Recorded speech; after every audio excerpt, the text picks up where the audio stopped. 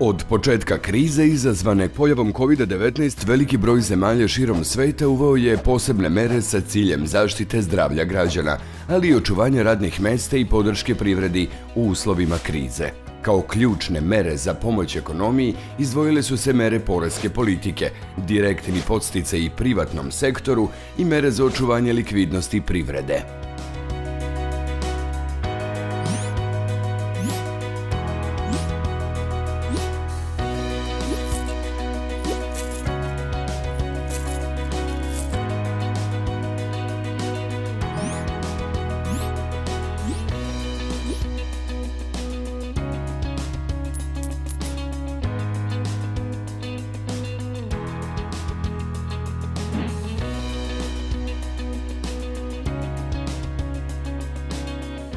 Države u Evropi su se uglavnom odlučile za kombinaciju mera iz sve tri ili dve navedene kategorije.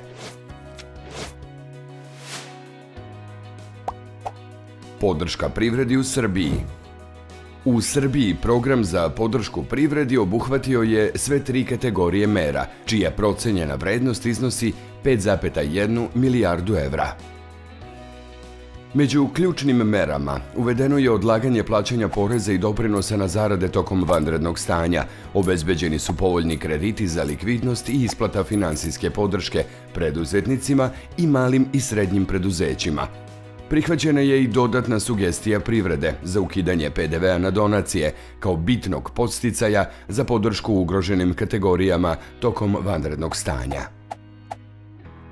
Kako pripremiti ekonomiju za nove izazove – Prema oceni najvećeg dela privrede, očekuje se da će negativni efekti krize izazvane virusom trajati od šest meseci do godinu dana, te je preporuka da se mere podrške nastave i u narednom periodu, kako bi se ekonomija održala na prihvatljivom nivou. Jedna od ključnih mera kojom bi država mogla da pomogne srpskoj privredi jeste izmirivanje svih obaveza javnog sektora prema privatnom sektoru, čime bi se osigurala njihova likvidnost.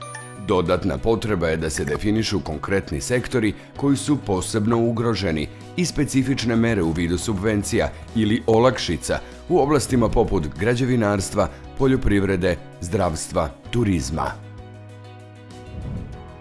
Kao vid adaptacije na uslove pandemije, potrebno je i pravno regulisanje i uvođenje fleksibilnijih oblika rada i zapošljavanja, kao i pojačan fokus na digitalne procedure koje olakšavaju rad na daljinu i omogućuju smanjenje kontakta.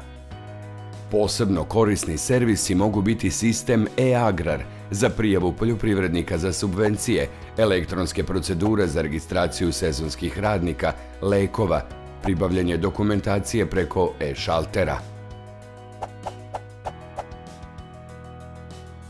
Za jednostavne procedure na daljinu posebno je važno i posticanje bezgotovinskog plaćanja i online trgovine i finansijska inkluzija svih građana kako bi imali mogućnost da plaćaju karticama, online ili na druge bezkontaktne načine, kako bismo zajedno sačuvali i ekonomiju i zdravlje građana.